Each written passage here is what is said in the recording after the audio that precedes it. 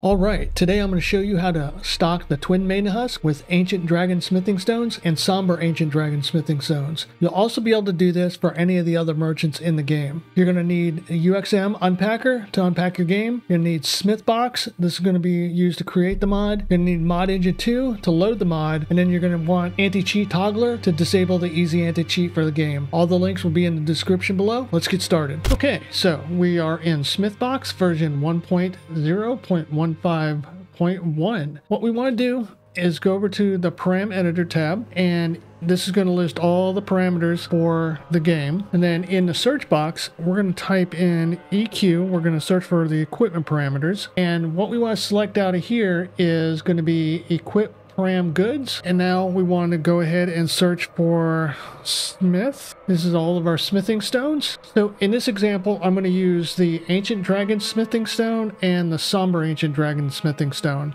So just click on it. And all we need here is going to be the name and ID. Now I've already got that already listed here. So we're going to go ahead and go back and we are going to get rid of that. And we're going to get rid of this. Okay, so next we want to go ahead and search for our shop. So in the param search box, type SH, and we want to choose shop lineup param. So now um, this is going to list all the shops in the game. We are going to be using the Twin Maiden Husk, so we're just going to type in TW. And here's everything for the Twin Maidens. So I'm going to select Smithing Stone 1. So over here, all we have to do is change four parameters. We're not really going to be concerned with anything else at the moment. So first thing we want to do is we want to make a copy of this. So we're going to go ahead and right click and we're going to go ahead and duplicate. So now any changes or additions are going to be highlighted in green. So now we're going to go ahead and click on that and we're going to change the name. So what we're not going to do is we're not going to change this. This is going to designate the merchant that this belongs to. So we're going to go ahead and go in and copy our name. All right. And then we're going to go back and we're going to go ahead and get our ID.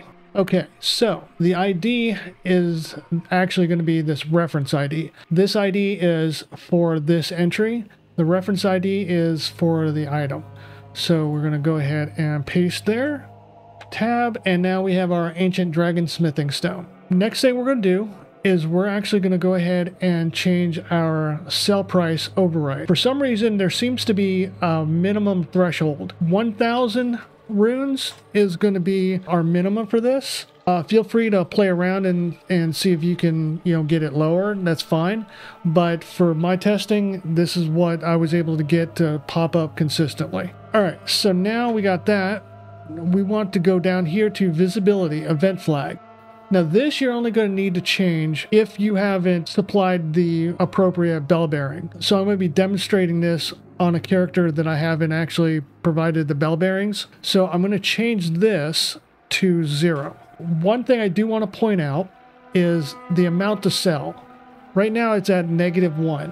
What this is going to do is it's going to allow this to be replenished.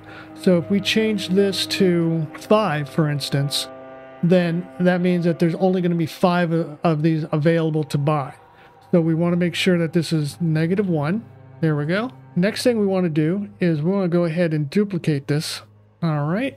And then we're going to do the same. We're going to copy the name and then we want the ID and then somber ancient dragon smithing stone now updated. Okay, so the next thing we want to do is we want to change the sell price override.